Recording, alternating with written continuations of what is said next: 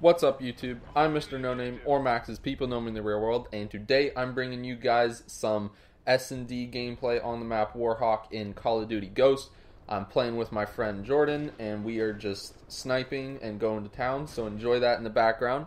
But today's video is going to be about Black Ops 3, why it's going to be a great competitive game, you know, what it's going to do to the audience retention and the audience viewing experience, things like that. So stick around.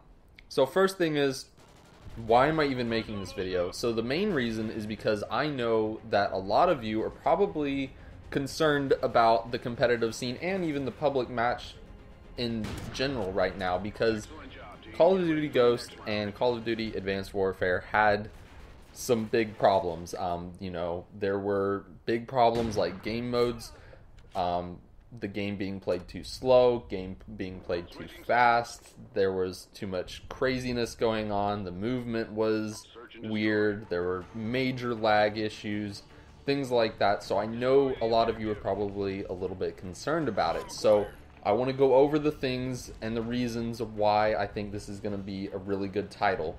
So, first thing is is that there is a beta, and all of you know this, but the beta is going to be an absolutely amazing thing. It's going to allow them to fix a lot of things that they may not have otherwise fixed because we are going to be able to play the game and tell them what we like and dislike about it.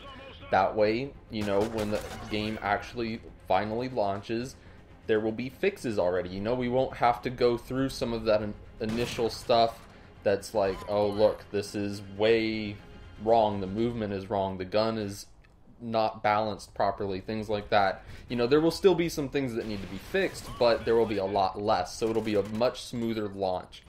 Next thing is, because this title is coming out after Advanced Warfare, they were able to get the movement down a little bit better. You know, swimming is new, so that could take a little bit of tweaking, but as far as the jumping, and things like that. And the well, wall running is new as well, but it's not going to be as difficult to really work that into the game. But the jumping and things won't be nearly as insane as Advanced Warfare, so it'll make it more like traditional COD, but still speed it up a little bit so that it's a little more fast paced, but not too crazy. If you get my drift, so it'll be just like I don't know. It's just it, it'll feel like a much better version of traditional Call of Duty, in my opinion. Also, that's in the pros' opinion as well. So far, a lot of the pros have been playing the game. Well, all of the pros have been playing the game, and they seem to really like it. They seem to feel like it plays a lot like Black Ops 2, which is a really good thing because that was probably my favorite Call of Duty title and probably the one that I was the best at just naturally without practice. So that could be really good for a lot of people, hopefully. Next thing is looking at the game modes. So we actually have three game modes that will be fun to watch and fun to play for most people. So we've got the uplink, hardpoint, and S&D. So that's going to be really good.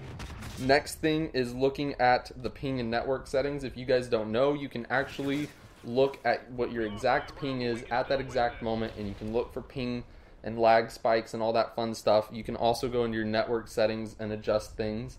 Also, as far as I know, there are dedicated servers, at least in the beta right now. I've seen some videos on it, and it looks like dedicated servers are a thing, so that'll be good for public matches. Competitively, you know, that's not going to matter so much unless you're just playing arena because, you know, we've got GBs, so we're going to be playing kids on the West Coast, East Coast, Canada, Mexico, everywhere. So, you know, that'll still be a little bit hectic, but it'll be something to look at. Next thing is looking at some of the Codcaster feature updates. Just little things, really, but it's going to help the viewing experience. So things like looking at the classes easier without blocking out, you know, what's actually going on and everything. So that'll be good.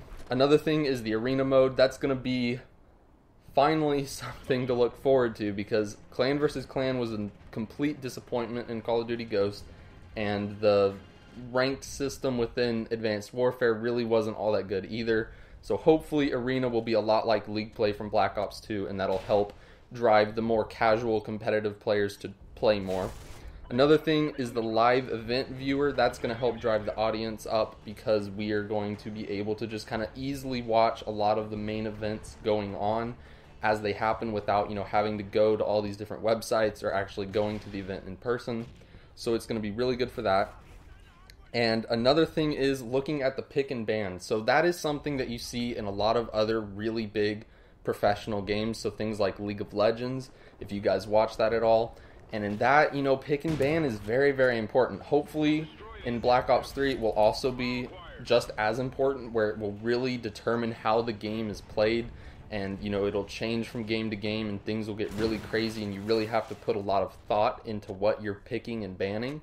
But we will have to see how that evolves, you know, as far as what the base underlying things that are banned are, um, and just kind of how important the picks really become.